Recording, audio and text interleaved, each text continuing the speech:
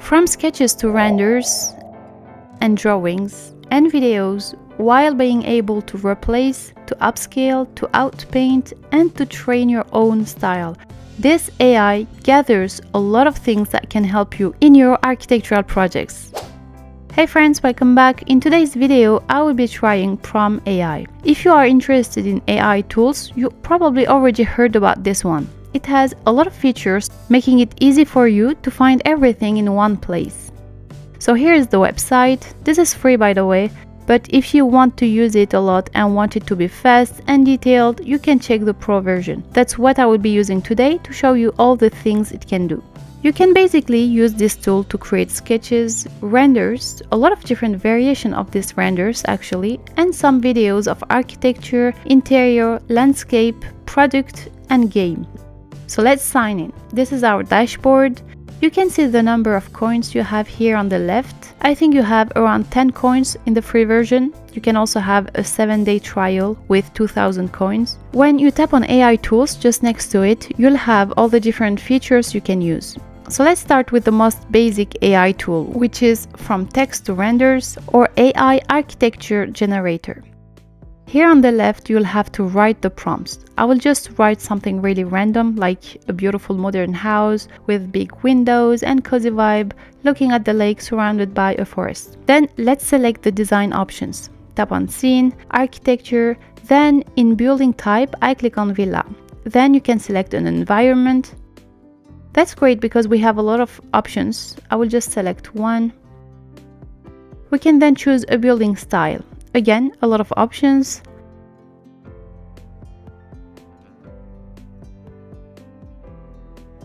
I really like the rustic contemporary. When you're done with the scene, let's tap on perspective and decide the point of view of your image.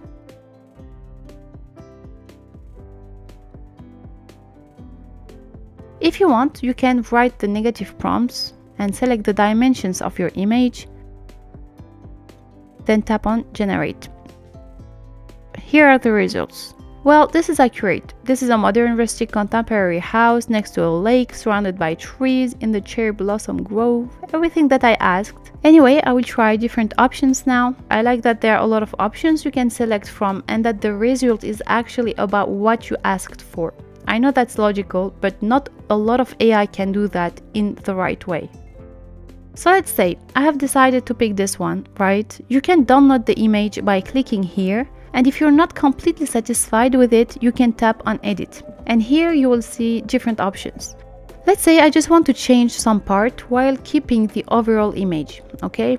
I will tap on erase and replace. Here you have to select the part you would like to replace and then write a prompt here on the left. Then generate.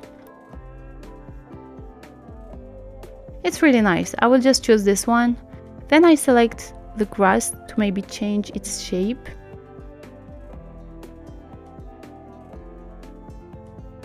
I prefer this one.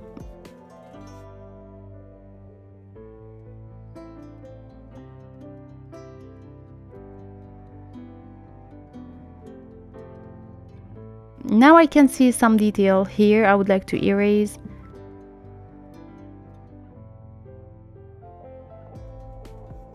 Okay, it's way better. Then I'll just add flowers here and I'm done. That's really, really great. Actually, I'm really surprised with this tool particularly because I've tried a lot of AI and let me tell you that most of them couldn't really do this with such great results.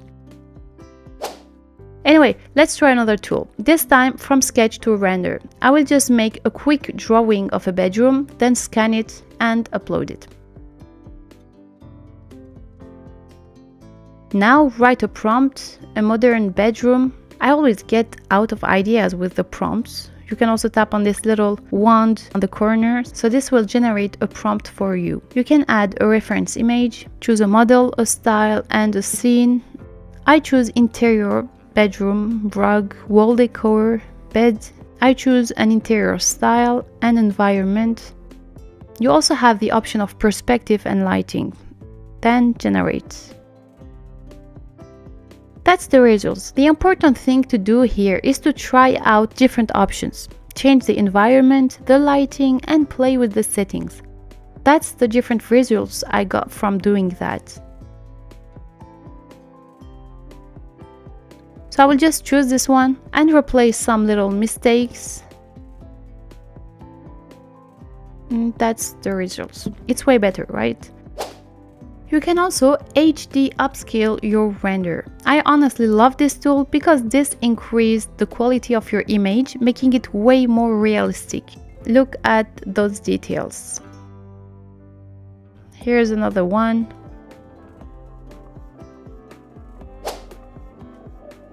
You can also use the Outpaint tool. This tool will expand your image, it will resize it.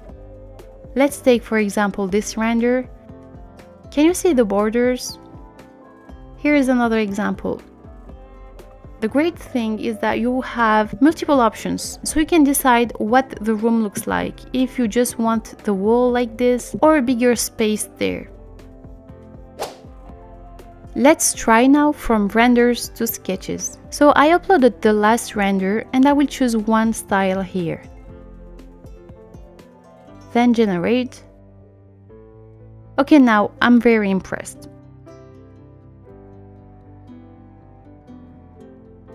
And here is another style.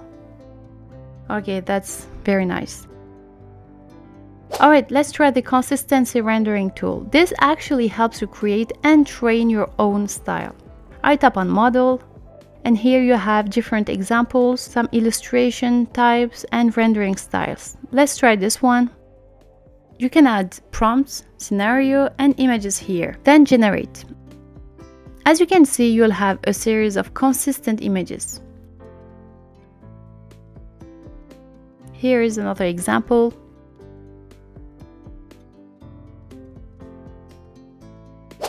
Okay, next tool, the exterior renovator. Choose an image, write a prompt, add a reference image and a scene. Then generate.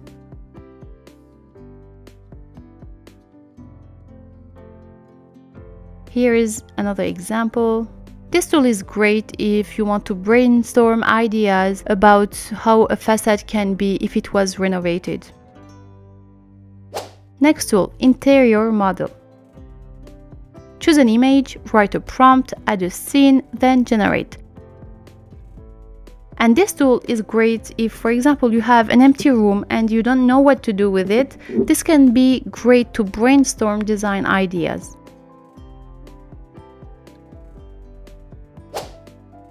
Anyway, another tool, the scenario changer. Let's add an image, choose the weather, season and time,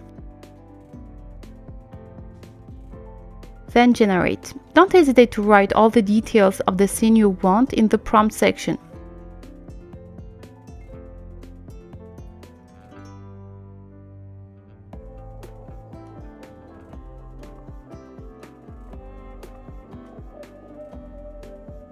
I think this tool is great if you have an image of a house, for example, that you would like to change the weather and the overall atmosphere.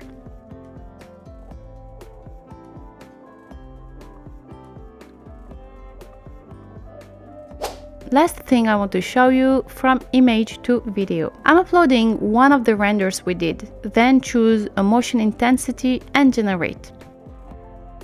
Then you'll have a short video like this.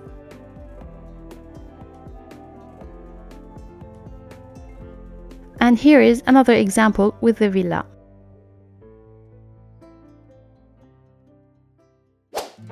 Okay, to sum up, I've tried a lot of AI tools until now and I can say this is one of the best. I'm honestly impressed, some of the features are truly amazing. AI is getting better and better every day, that's crazy.